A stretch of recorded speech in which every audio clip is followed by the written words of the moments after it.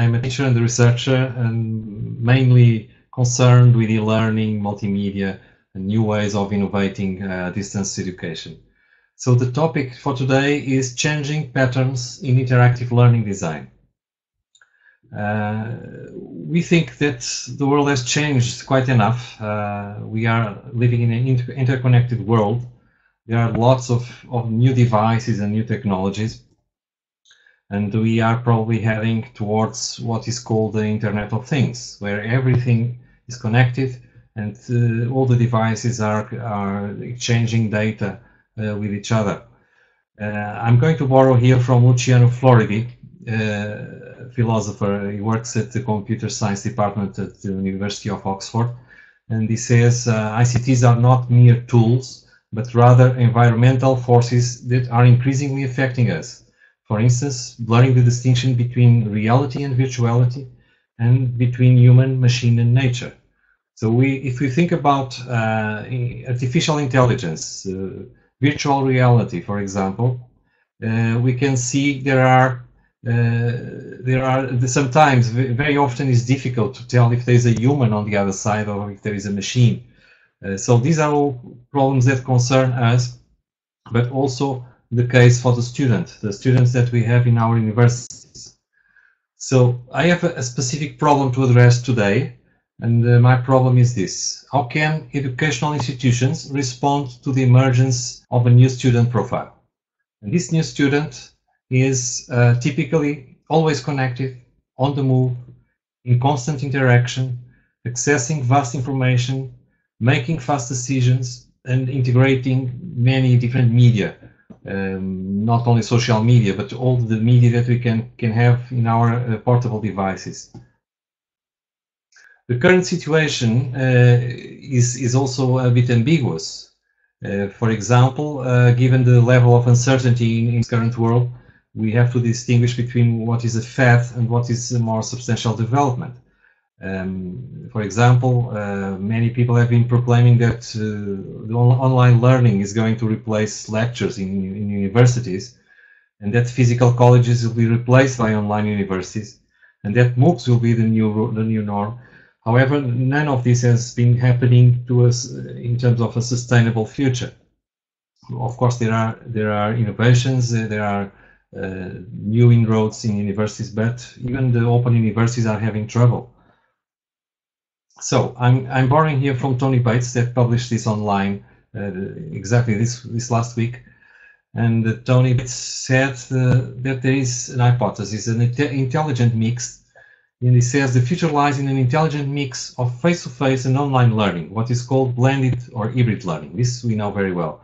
So the solution may be that we have to move away from the typical didactic lecture and towards a more integrated uh, digital learning environment. The question is, what kind of learning environment? How are we going to solve this problem? So I'm going to give you some hints and some ideas on how we've been working towards the, the solution of this.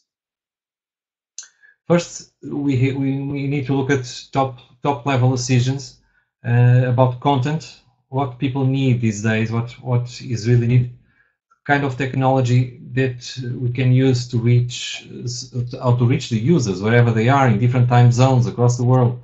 Uh, also the data, uh, know and learn from the users, get some data data mining and, and now what's happening.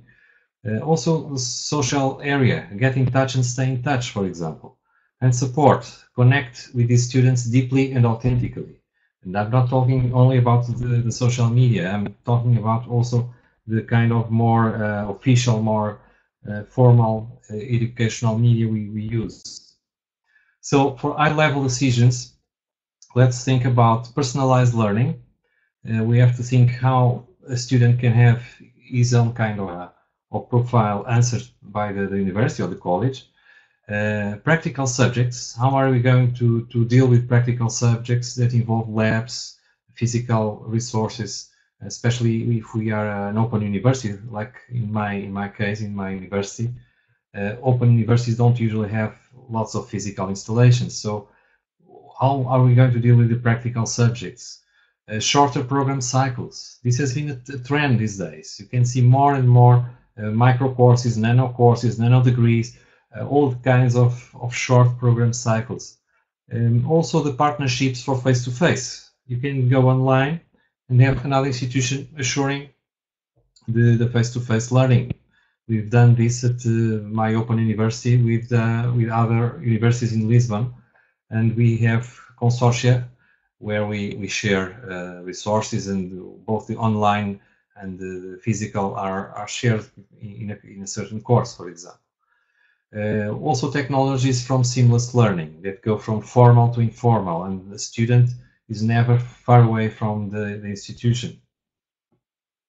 In fact, the, the trend has been, we are evolving, in fact, from the classroom learning that we know very well to uh, e-learning, while learning, and now something we, we may call ubiquitous learning.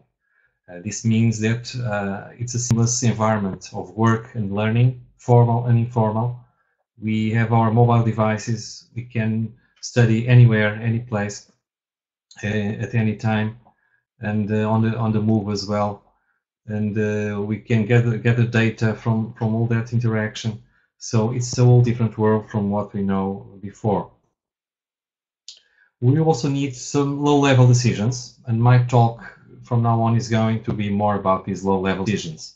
So basically the design of learning environments and also the instructional design, how we design materials, what kinds of media are we going to use, what kinds of tools and procedures are we going to apply, uh, also the kinds of the, the, methods for learner support. Are we going for sync, async, for example? Uh, what kinds of tools can we use for this? Um, and this connects closely with uh, personal learning and what we call the personal learning environment. Uh, personal learning environment is, I'm, here I'm borrowing from Steve Wheeler, it's very a very large concept uh, where you can have a personal learning network or personal web tools. So we, we don't really know what each student individual will use to study, but uh, our institutions have to provide uh, different ways in, in parallel that can reach the student through different channels. Uh, the learning design principles are also important, not only the channels or the media. Uh, we must think about a simple design, something that is intuitive, harmonious, not very complex or soph sophistication is not about complexity, it's about simple design. Uh, focus utility, that must be targeted, essential, extraordinary. Extraordinary in the sense that you, you have to engage students, you have to attract them, and the extraordinary will, will do that. Uh, then you need collaborative and social uh, media and, and, tools that can be inserted in, into the, the materials. And this must be useful and respectful. Respectful is an important word. If you think, if you think about social media like Facebook, for example. Um, so we are uh, at the inter intersection of function and emotion. Uh, we want uh, our learning resources to be functional, but students must feel something. They, they have to get engaged with the, with the, the study, with the materials we provide, with, provide them. Uh, for this, we are using something like storytelling, games, gamification uh, in many different courses. Uh, also, a crafted execution that must be robust, refined, beautiful. Beautiful is also important. Uh, something that is aesthet aesthetically pleasing, uh, it will be more effective. And for this last one, uh, you may you may think about persuasive design ideas. For example, uh, make it visual, make it move, make it obvious, and encourage interaction anytime and anywhere. This seems obvious, but uh, if you look at many of the resources from uh, open universities or online courses, and they, they don't follow any of these of, of these uh, perspectives here. They they are very dull, very grayish, very. I'm not saying they, they are only based on PDF files, but things have not evolved uh, as much. I'm going to talk to you about uh, a case, uh, the MILAGE project, I've been involved with this project for a while. Uh, it's uh, an Erasmus Plus project. It involves my own university. Uh, actually, I'm, I'm a consultant in the project, but involves Portugal, my own country, Portugal, Spain, uh, Nor Norway, and Turkey. And this is an app and a system for mobile learning that has been now translated in, in these four languages and is now being also translated in other languages of, uh, of different countries. So the MILAGE goals, the, the, project goals, were first of all to create an app and a web platform. Uh, we were trying to solve a, specific problem, which is students uh, did not perform very well in math uh, in school. I'm talking about secondary school level now. Uh, students were not very proficient in mathematics, so something had to be done, and this project was attempting to, to create a system so that students could learn by themselves and learn with their peers and with their teachers as well and learn math uh, in a more sustainable way. So for this we use gamification techniques to engage students. We implement also game mechanics involving students and teachers. Uh, we use different levels of problem complexity, for example, beginners, intermediate and advanced and there's a color for each one. The beginners will be is a green color, intermediate yellow color, advanced is a red color. So uh, it's like a game, and the student knows exactly where he's going into, what kinds of activities he is expecting. And uh, there are also two levels of exercise resolution, uh, which have detailed and concise videos, so that the, the teachers or other students, if they want, can provide the colleagues uh, with the videos with the resolution of maths, maths exercises. I'll show you some screens. For example, here uh, the way it works is uh, the, the problem is shown on the, the mobile device. Then the student can answer in a, in a common piece of paper, like they do at school. They just write down the, the solution for the problem. Then they take a photo with, a, with their uh, smartphone, for example and this photo is uploaded to the server, is connected to the environment where the peers and the teachers can uh, can see, can evaluate, can discuss. So there is also a kind of social media environment around the, around, around this. Here you can see another image, um, and there is also a, leader score where the, the ranking of the, the best performance is shown. Um, this is the, the student uh, interface. There is also a teacher interface, which is different from, from this one. So this uh, MILAGE app, uh, Learn, Plus, Learn Plus or Learn More, is available from the Apple uh, Store or from the uh, Android Store, from the Google Play Store. And uh, it's free. Any one of you can go there, download it, try it. of course, the languages of the, the resources now are, are these ones I mentioned, Portuguese, Spanish, uh, Norwegian, Turkish. Uh, in, the English interface is there as well, but uh, many of you would, would be able to try this.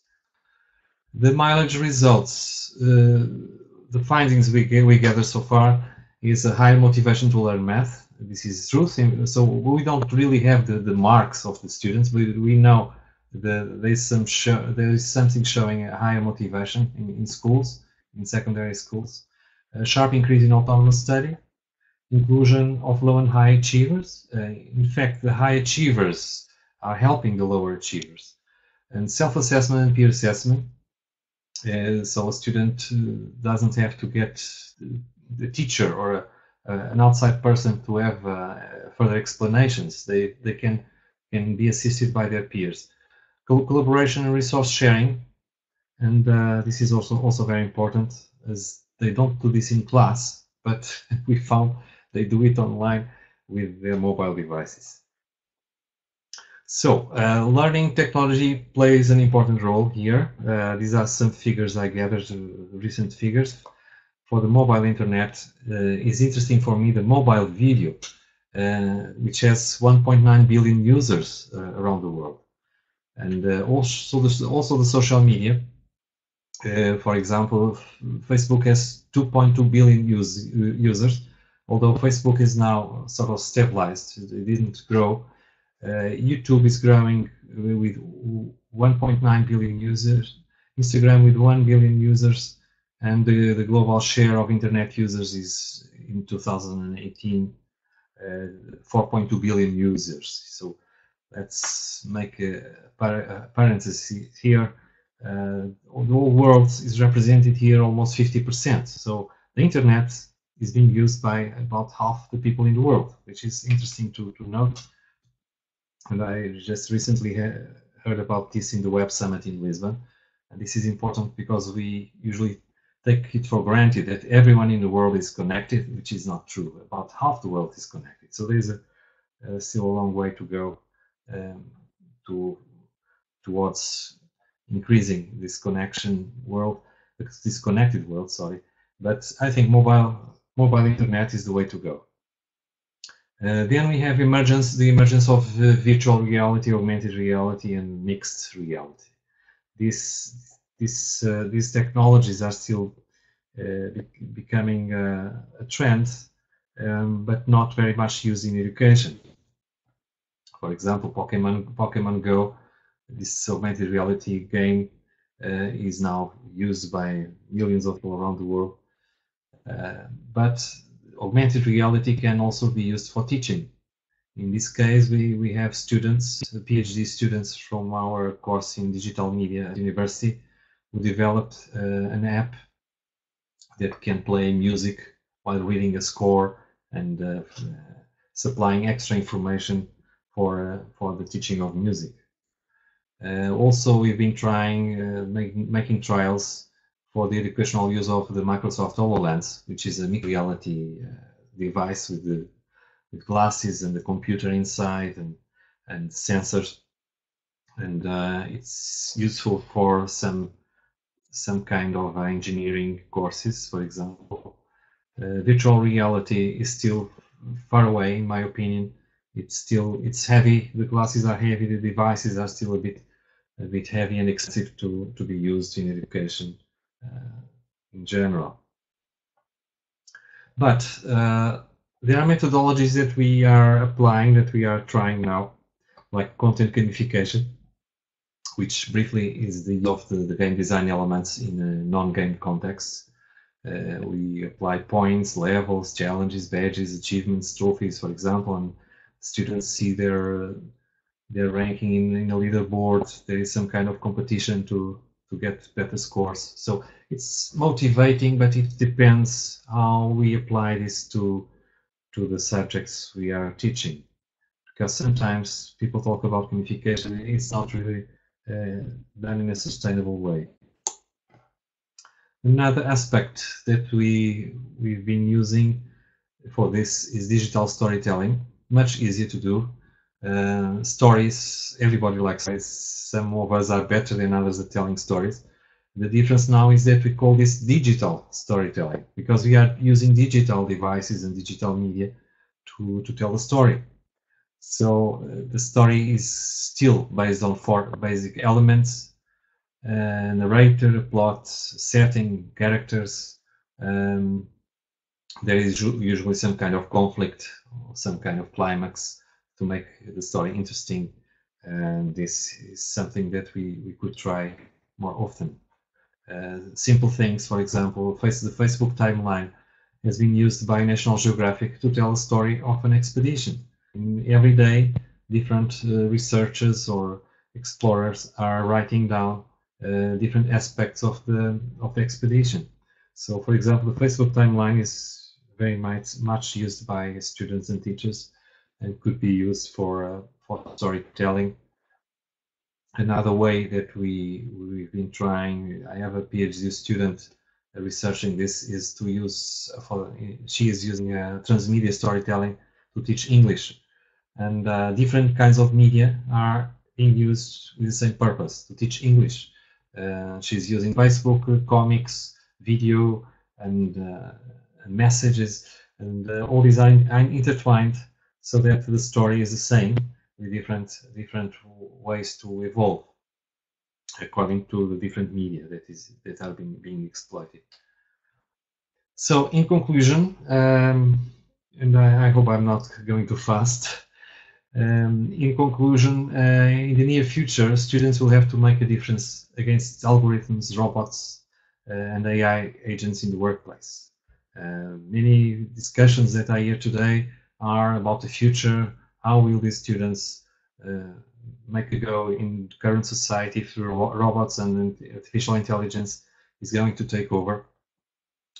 So uh, we have to teach these students to deal with a more uncertainty, complex, and obsolete uh, situation in their professional careers.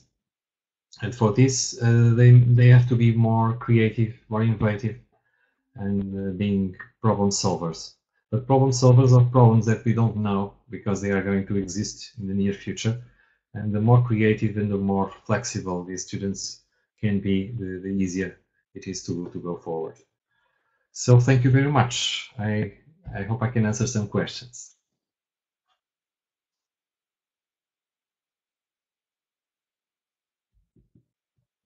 Over to you, Dario.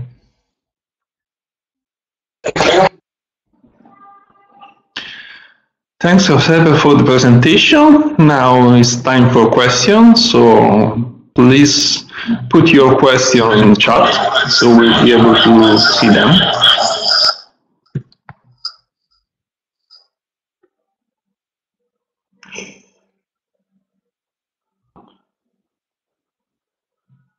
Uh, in the meanwhile, I start with a personal question. Uh, or at least it's not a question, just your opinion.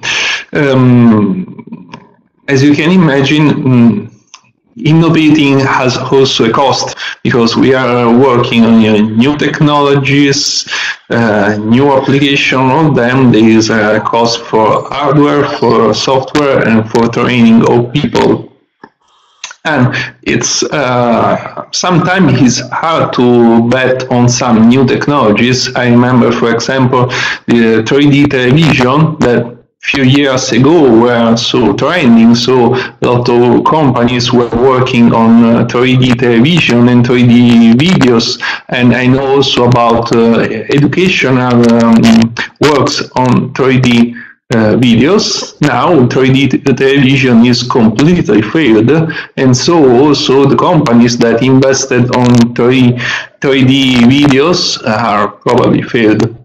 So um, it's always uh, challenging to bet on new technologies. So according to you, uh, if you should invest one of the actual technologies for the next year, what's the one that you would like to choose to innovate your university?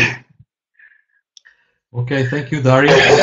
Uh, the sound is not very clear. Uh, I had some difficulty in uh, in getting all the all what you've said, but I think I got the, the, the essential. So uh, I would say that uh, first of all, mobile devices are everybody has mobile mobile devices. So mobile learning is now what we should invest right now, uh, because th that doesn't cost anything to universities or to schools, because everyone in our Western world, even in the East Eastern world, uh, most people use uh, mobile phones. They have uh, many of them have uh, iPads or tablets. So mobile learning is the way to go, I think, right now for the near future, uh, I would invest in augmented reality because augmented reality departs from the mobile smartphones and the mobile devices we have and uh, introduces another layer of information and an interactivity layer that can, can also be a game, a game or a, a gamification of, of a course, for example. And uh, for blended learning, I'm talking about hybrid or blended learning. Uh, not fully online learning. Uh, I think the mobile learning and the augmented reality extension would be the way to go. This is my, my own opinion. Thanks a lot for the answer. Uh, in the meanwhile, I think we have also some more questions from the participant. From Vasco, Vasco, Vasco Silva. Mm -hmm is asking what would you think can be key points to evaluate the effectiveness effectiveness of these methods. Um, I think the effectiveness of these methods will only be properly evaluated, uh, talking about education, when we know the results of the students. We know if the students, for example, passed mathematics, with what grades, uh, what were, were their, their marks compared to the students who were not using these these tools and these devices. So we the effectiveness can only be checked really if we, we compare the, the final results of the students. So that's their, their educational results. Uh, otherwise, we, we have to think that education is always behind the society. Our society is using mobile phones, uh, different technologies that we, we carry in, in our pockets every day. But in schools and universities, very rarely those are used for teaching and learning. So uh, education has to change, and there are some key aspects that we have to change, like I, I mentioned here, uh, that universities and schools have to change. But in, in the end, the key points to evaluate are always if students or learners are really learning, and to what degree. That's what we have to, to evaluate. Uh, now I've got here Val Valerie Caraguel. Uh, in conclusion, you say we must teach teach students to be more creative, innovative, and effective. How do you manage online, especially for that? Uh, I don't know exactly what she means, but um, to teach students to be more creative, innovative, and effective uh, is a kind of uh, of teaching that is not the, the, the traditional teaching. Uh, traditional teaching is a classroom setting. The student sits down the, the, the professor goes in and, and, talks for one hour, and then they go back outside again. There are some notes taken. Um, what I'm talking about is a different kind of teaching where the student can be creative, can produce some material, can interact with their colleagues. There is collaborative learning. They change views. Uh, they up upload video or uh, images or text, for example. Uh, and this can be done online. Uh, the online is especially uh, especially useful for this because you know all the digital media that we have today. Uh, we don't have we don't have this in a classroom, and uh, this is what the, the online can do for creative, innovative, and effective. Is all this kind of interaction and all this kind of collaborative learning. Then there's another question here from Simone Adams. Um, thank you for your talk. Thank you. How do how do you at Universidade Aberta train is prepare your faculty members to use digital media and new technologies technologies in the classroom? Okay. Uh, we don't usually prepare our faculty members. We don't train them. They train themselves. Basically, this is what happens. Uh, each uh, professor, each each person there uh, usually teaches himself uh, according to the, the, the ways the research is, is going to pursue. We don't have a specific program. Of course, there are seminars, there are some workshops from time to time, but usually each each person has to drive uh, a kind of a self self-teaching module or self-teaching uh, uh, way towards the technologies or the methods that he's going to to use. So uh, there is no no specific course that we can that we can take. Uh, Michael Cronin has got here a question. Uh, if there was any form of post-project evaluation of the MILAGE project in terms of interviewing the participants or asking them complete questionnaires. This has been done, Michael. Uh, we have asked our participants to, to answer questionnaires. Uh, there are some papers published, uh, some other papers are going to be published uh, with this data, and uh, the results were very positive. I think we are on the right track. Um, people were interviewed, teachers and students, and uh, there is no doubt that the, application based on mobile learning is working. Um, there are about 12,000 uh, users uh, with MILAGE with, within the MILAGE with the MILAGE application now from both the, the, the, Apple Store and the, the Google Play Store and 12,000 is quite a nice number uh, concerning students and teachers. Teachers are about 300, if I if I'm not wrong. So uh, we we we have feedback, and it looks very positive. Thank you.